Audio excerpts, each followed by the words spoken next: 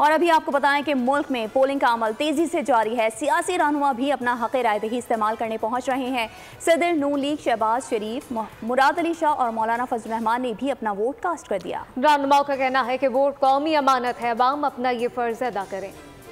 मुल्क की तकदीर बदलने का आज़म अवाम और सियासी रहनुमा अपना हक राय दही इस्तेमाल करने निकले। सबक वजी अजम शहबाज शरीफ ने एन ए एक सौ अट्ठाईस में अपना वोट कास्ट किया। उन्होंने कहा अवाम को जल्द मुश्किल से निजात मिलेगी। सबक वजी अला सिंध सैयद मुराद अली शाह ने भी पोलिंग स्टेशन वाहड़ में वोट डाला। मुझे खुशी हो रही देख के कि लोग अपना वोट पीसफुली आके दे रहे हैं। दुआ यही है कि पूरे पाकिस्तान में अमन अमान से इलेक्शन हो जाए।